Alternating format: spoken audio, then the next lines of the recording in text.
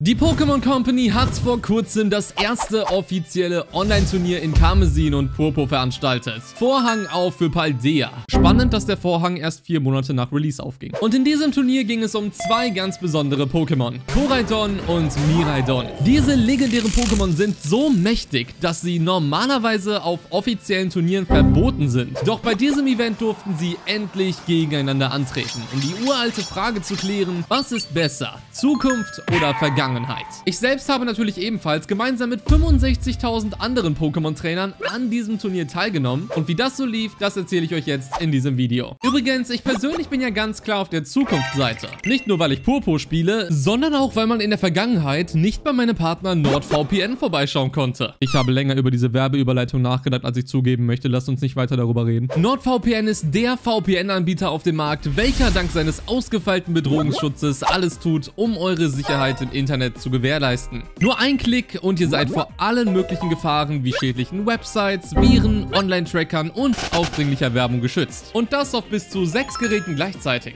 Und das ist noch längst nicht alles. Kennt ihr das, wenn ihr die neue Staffel eurer Lieblingsserie auf Netflix und Co. sehen wollt, diese aber noch nicht in Deutschland verfügbar ist? Dank NordVPN ist das kein Problem mehr und ihr könnt eure Lieblingsserien jederzeit und überall genießen. Zum Beispiel auch die neuen Folgen des Pokémon Anime, die in Deutschland noch nicht auf Netflix verfügbar sind. Und mit dem Code FANMATE oder dem Link in der Videobeschreibung bekommt ihr darüber hinaus nochmal starke Rabatte auf euer NordVPN-Abo. Und wem das nicht gefällt, der bekommt bis zu 30 Tage lang auf Wunsch sein Geld zurück. Also ladet euch NordVPN herunter und schützt euch vor allen Gefahren im Internet. Die Regeln für dieses Turnier waren einfach. Es war ein Doppelkampfturnier, bei dem alle Pokémon erlaubt waren, die im Paldea-Dex stehen. Man musste sich jedoch entscheiden, ob man Koraidon oder Miraidon in sein Team aufnimmt, da man nur eines von den beiden benutzen durfte. Also man konnte auch keins von beiden wählen und stattdessen ein armes Purmel in den Ring werfen, wenn man wirklich gar keinen Bock hatte zu gewinnen. Aber das ist grausam. Das Ganze war tatsächlich auch das erste Turnier in den Spielen, an dem ich selber teilgenommen habe. Und daher habe ich das Ganze auch live mit euch zusammen auf Twitch gestreamt, wo ich generell sehr regelmäßig Pokémon-Content streame. Also, wenn ihr Bock habt, schaut gerne mal vorbei, lasst ein Follow da und seid beim nächsten Mal mit am Start. Als erstes brauchte ich natürlich ein Team für das Turnier. Doch bevor ich damit anfangen konnte, musste ich mich erstmal entscheiden, ob ich Koraidon oder Miraidon einsetzen wollte. Das hat schon fast denselben Vibe, wie wenn man sich sein Starter-Pokémon am Anfang der Spiele aussuchen muss. Nehme ich jetzt Bouts oder Flamia oder ja, welches von den beiden? Ich als privilegierter Pokémon Purpur Connoisseur habe mich dann natürlich für Miraidon entschieden. Ich finde beide Pokémon super, aber ich hatte Lust, mein Durchspiel Miraidon aus der Hauptstory des Spiels bei diesem Turnier einzusetzen. Ich meine, wir haben so viel zusammen durchgemacht, da wäre es doch nur angebracht, auch mein erstes Turnier mit ihm anzutreten. Da gab es nur ein klitzekleines Problem. Okay, wir können es nicht in die Box nehmen. Wir können nicht das Durchspiel Miraidon nehmen. Müsste neben Box 1 eine Miraidon-Box sein. Oh, Echt? Ach, bei Kampfteams. Hat erzählt ihr mir. Äh, mit zweimal X, es gibt eine extra Box. Ja, okay, ich bin bei Kampfteams. Aber, äh, 1 und dann X und L. Alter, das ist ein Cheatcode. Ihr habt keine Ahnung, was ihr meint. Welche Miraidon-Box? Wovor redet ihr?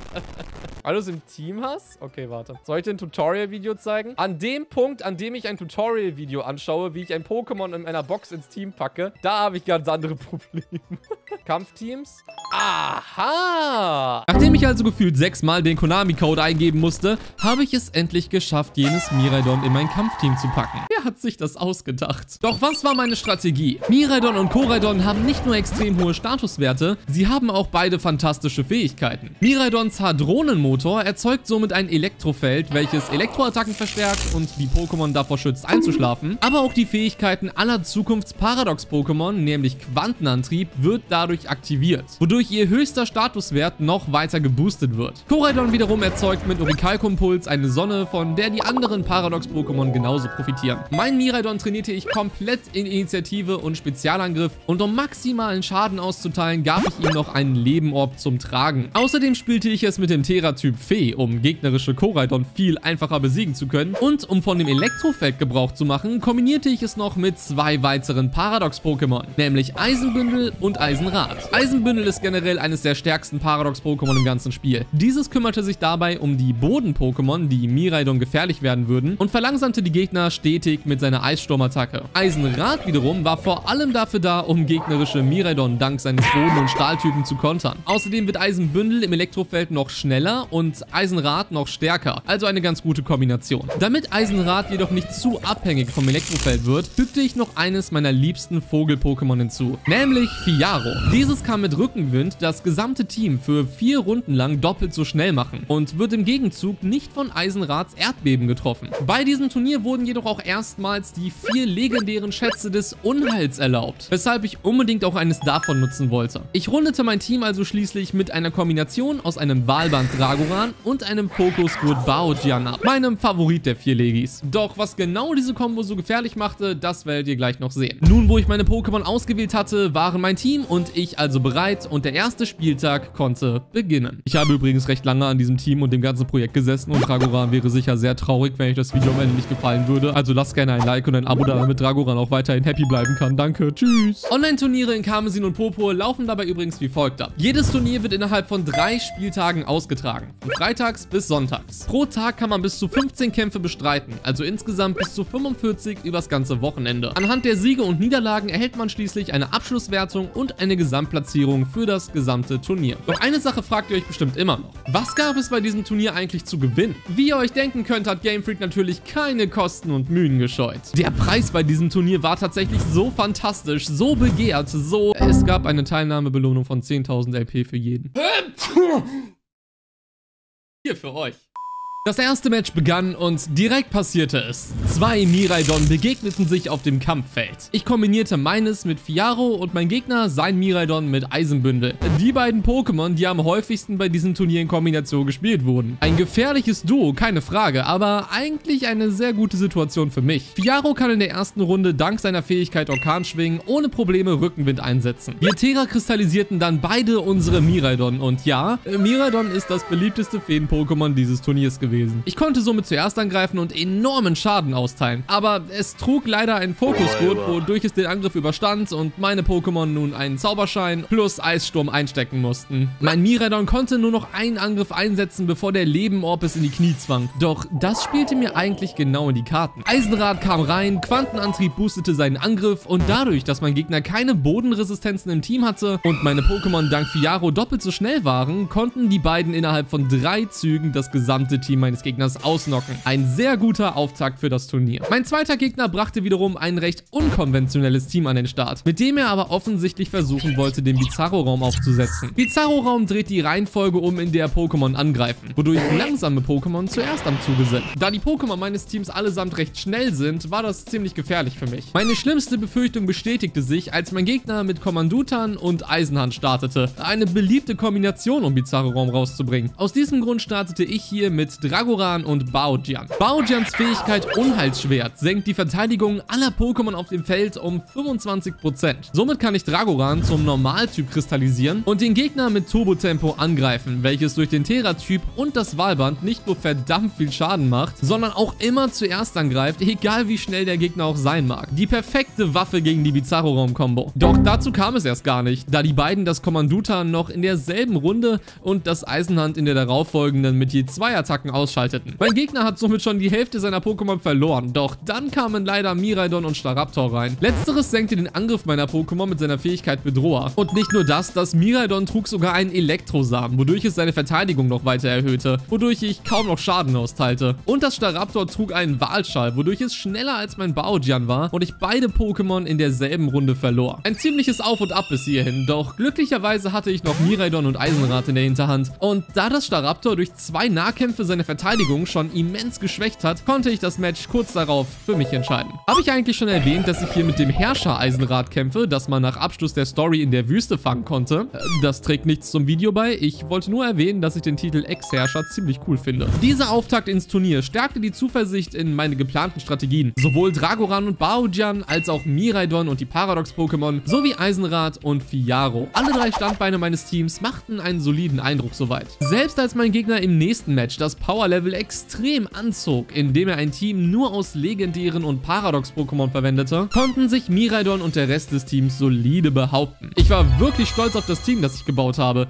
Dieser junge Mann hier scheint wirklich an alles gedacht zu haben. Naja, bis auf eine Sache. Mein nächster Gegner brachte tatsächlich das erste Koraidon des Turniers mit, wodurch ich schon wusste, dass dieses Match anders als der Rest verlaufen sollte. Der Anfang des Matches verlief dabei eigentlich wie gewohnt. Die Kombination aus Eisenrad und Fiaro funktionierte erneut wunderbar und ich konnte das Eisenbündel und Krimanso meines Gegners sehr schnell und ohne Probleme ausschalten. Krimanso sollte nicht in der Lage sein, Eisenrad zu besiegen in der Runde.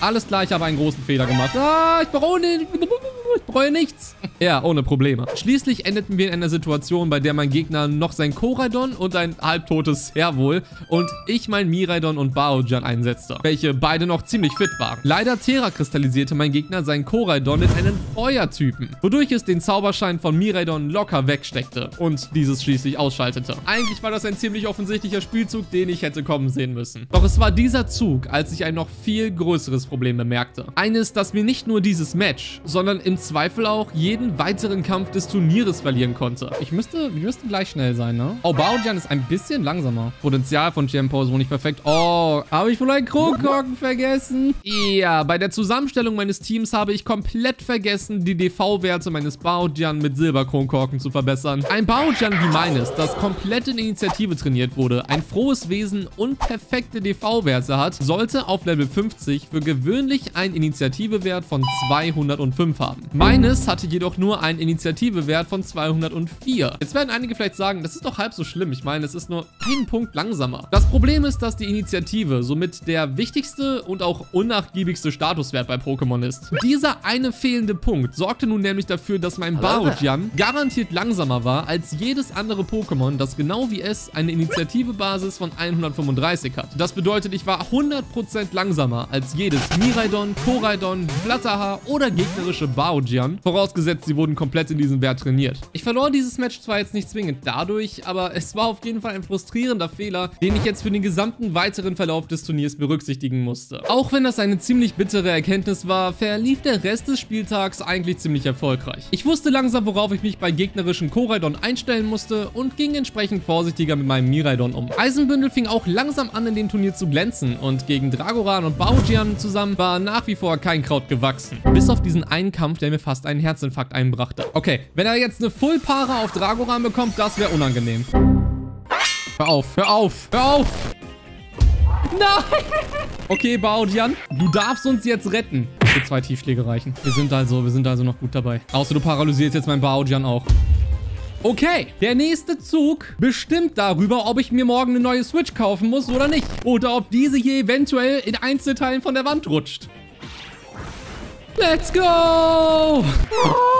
Oh, ich brauche keine neue Switch. Cool. Ja, ich glaube, durch diesen Kampf bin ich etwa 10 Jahre gealtert. Somit konnte ich von meinen ersten 15 Kämpfen ganze 12 Stück gewinnen und beendete den ersten Spieltag auf Platz 250 weltweit. Definitiv kein schlechter Start, doch die nächsten Tage sollten noch mal ganz anders werden. Am zweiten Spieltag fiel es mir dann wie Schuppen von den Augen. Eine Sache, die uns schon den gesamten ersten Spieltag begleitete, die ich aber bislang komplett ausgeblendet habe. Ist euch aufgefallen, dass man bei diesem Turnier Turnier jedes Match am Strand ausgetragen hat? Es war wohl ein ziemlich wildes Wochenende an die Milas Privatküste. Doch auch wenn das Setting der Kämpfe eine schöne, angenehme Sommerbrise verspricht, so verlief dieser Spieltag doch eher unentspannt. Es ist tatsächlich normal, dass die zweiten und dritten Spieltage bei Online-Turnieren um einiges intensiver werden als der erste. Denn die ganzen Leute, die noch nicht so viel Erfahrung haben und sich denken, oh Junge, ein Online-Turnier, da nehme ich doch mal dran teil, verlieren recht schnell die Lust, sobald sie die ersten Male von Flatterhaar, Eisenbündel und Miraidon zerstört wurden und schwören Pokémon dann vielleicht für den Rest ihres Lebens ab. Somit ist die Competition am zweiten Tag um einiges härter als am ersten. Doch zu Beginn musste ich erstmal eine große kompetitive Lebensweisheit mit euch teilen. Damit, damit kann ich arbeiten. Das ist in Ordnung.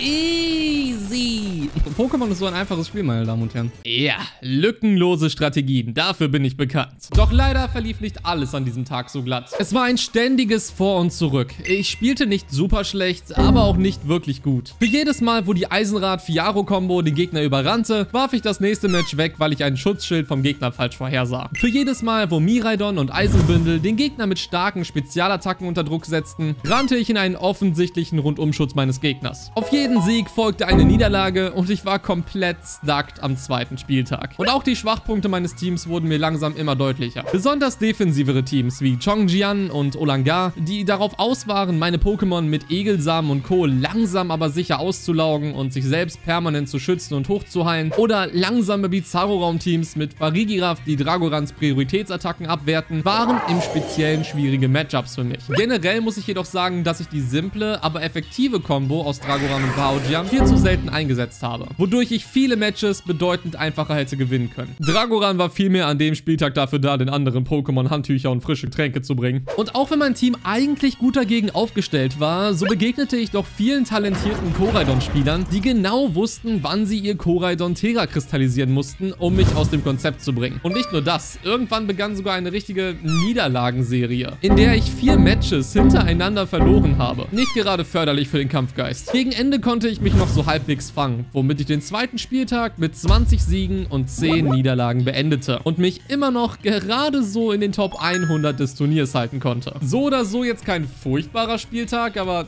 definitiv nicht gerade erfolgreich. Doch der dritte Spieltag sollte nochmal ganz anders laufen, als ich an diesem Punkt erwartet hätte. Nachdem ich das erste Match am dritten Spieltag erneut verlor, weil ich mich mal wieder nicht getraut hatte, Dragoran und Baoja mitzunehmen, sah es zunächst danach aus, als würde sich die Niederlagenserie von gestern fortsetzen. Doch mein Chat machte mir deutlich, was zu tun war. Ich musste mich öfter trauen, Dragoran und Baojan einzusetzen. Komme, was da wolle. Also tat ich es. Ich schickte die beiden direkt im nächsten Kampf rein und... Oh mein Gott, warum habe ich das am zweiten Spieltag nicht schon so gemacht? Die beiden zusammen stellten einfach eine unaufhaltsame Combo dar. Doch nicht nur Dragoran und Baojan Ninja lieferten ab. Auch Miraidon und unsere Paradox-Pokémon liefen zu Hochtouren auf. Fiaro kümmerte sich heute im Gegenzug um die Handtücher. Zugegeben, nicht jedes Match habe ich durch gute Strategien oder clevere Spielzüge gewonnen. Wenn da Pokémon als Spiel nun mal ist, wie es ist, gewann ich manche Matches auch auf diese Weise. Ich bin schneller. Oh mein Gott, Flinch. Oh mein Gott, wenn Baojang jetzt flincht... Let's go! Okay, das ist insane. Und jetzt kriegen wir noch einen Flinch auf Miraidon. Passt auf. Watch this. Pokémon ist ein faires und sehr kompetitives Spiel übrigens. Ja, ich gestalte meinen Content sehr vorausschauend. Natürlich lief nicht alles wie geplant, aber alles in allem lief es schon bedeutend besser als am Vortag. Bis zu diesem Match. Nach 25 Siegen und 13 Niederlagen begann der lächerlichste Kampf des gesamten Turniers. Ich begann das Match mal wieder mit Dragoran und Baojan und mein Gegner mit Miraidon und Dinglu. Eigentlich eine wirklich gute Situation für mich, da Dragoran dem Miraidon fatalen Schaden mit Turbotempo zufügen kann und Baojan das Dinglu mit seinen Eisattacken selbst hart treffen kann. Unsere beiden Drachen Terra kristallisierten sich also, Dragoran machte soliden Schaden und Baojan verfehlte seinen Eiszapfhage gegen Dinglu. Lu, wodurch dieses mein Baojan im selben Zug besiegte. Außerdem konnte Miraidon mit einer Parabolladung einen großen Teil des Schadens somit wieder hochheilen. Okay, kein guter Start, aber kein Problem, ich gehe einfach in mein eigenes Miraidon. Das Problem hierbei ist, Dinglus Fähigkeit senkt den Spezialangriff aller anderen Pokémon um 25%, wodurch das gegnerische Miraidon mit gefühlt einem KP überlebte. Nochmal angreifen und das Dinglu mein Dragoran rausnehmen konnte. Okay, genug davon. Jetzt müssen wir ernst machen. Zeit, Eisenbündel Tunnel rauszuschicken und dieses Ding nur mit einer Hydropumpe ins nächste Jahrtausend... Fein. Dann gehen wir wenigstens noch auf einen Eissturm, um beide Pokémon zu treffen. Okay, an dem Punkt bin ich mir sicher, dass dieses Ding nur den Ultra-Instinkt gemeistert hat. Und äh, ja, ich habe das Match verloren. Doch danach lief es viel besser, als ich es mir hätte vorstellen können. Ich gewann plötzlich ein Match nach dem anderen und stieg zuerst wieder in die Top 1000 und schließlich sogar in die Top 500 des Turniers auf. Als ich mein letztes Match des Turniers antrat, stand ich gerade auf Platz 310 weltweit. An sich hätte ich hier aufhören können und hätte eine gute Chance gehabt, am Ende in den Top 500 der Welt abzuschließen. Doch natürlich machte ich weiter. Es lief so gut, da musste das letzte Match natürlich noch mitgenommen werden. Und zu verlieren hatte ich sowieso nichts. Außerdem Respekt bei der Zuschauer und dieser wertlosen digitalen Zahl, die ich als Maßstab für meinen Erfolg in diesem Turnier missbrauche. Mein Gegner brachte einige meiner größten Nemesis des gesamten Turnieres mit. Und gerade Pokémon wie Flatterhaar oder Eisenrad konnten mir sehr gefährlich werden. Vor allem, da ich mich entschied, dieses Match ohne mein Miraidon anzutreten. Konnte das überhaupt gut gehen? Ich begann wie so oft mit Baojan und Dragoran, während mein Gegner mit Flatterhaar und Eisenrad leadete. Grundsätzlich keine schlechte Aufstellung, um meine Kombination zu stoppen. Doch ich habe das Matchup nun schon oft genug während des Turniers gehabt gemacht, um zu wissen, dass ein Turbotempo, gefolgt von einer Sancto-Klinge, reicht, um das Eisenrad zu besiegen. Das Felinara konnte zwar nochmal eine Schallwelle einsetzen, die meine beiden Pokémon jedoch locker überlebt haben. Locker. Das Fiaro, das darauf folgte, konnte ebenfalls keinem Turbotempo standhalten und Baujan tat das, was es am besten konnte. Bitte Flinch. Los, Baujan! Let's go! Auch das darauffolgende Miraidon konnte dem Turbotempo nur mit viel Mühe und Not standhalten, schaffte es dann aber endlich, mein Baojian zu besiegen. Und da dachte ich mir, Komm schon. Auf den letzten Metern des Turnieres darf Fiaro nochmal die Handtücher beiseite legen, die Ersatzbank verlassen und ein letztes Mal das Spielfeld betreten. Also besiegte Dragoran das Felinara mit einem Turbotempo und Fiaro schließlich das Miraidon mit einem allerletzten Sturzflug und sicherte somit den letzten Sieg dieses Turnieres. Doch, wie habe ich nun abgeschnitten? Ich habe insgesamt 31 der 45 Kämpfe gewonnen und landete schlussendlich auf Platz 332 weltweit. Bei über 65.000 Teilnehmern Teilnehmern definitiv eine Leistung, mit der ich und mein Pokémon-Team, denke ich, zufrieden sein können. Und um mehr über die stärksten Pokémon in Karmesin und Popo zu erfahren, klickt als nächstes auf dieses Video.